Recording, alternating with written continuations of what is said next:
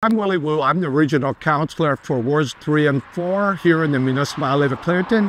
And here we are in the village of Newcastle at the Newcastle Lions Trail.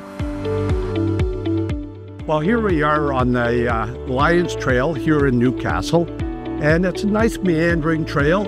It accommodates uh, for those that are joggers, walkers, uh, accessibility, scooters, and even those that are uh, cyclists. As you can see, the trail connects up with the uh, Foster Creek Parkette. And you know, this is used a lot by families. They bring their kids here to the play area. It's a nice place just to sit and just enjoy the quiet and just the surroundings. Parkland is very important to us as a, a council and the municipality of Clarington.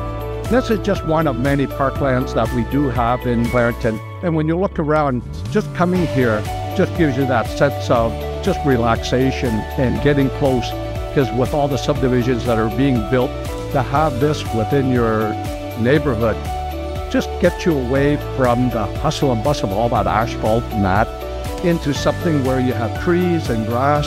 I think is very, very important and something that uh, we as a councillor uh, Uh, and certainly on a strategic plan view very importantly.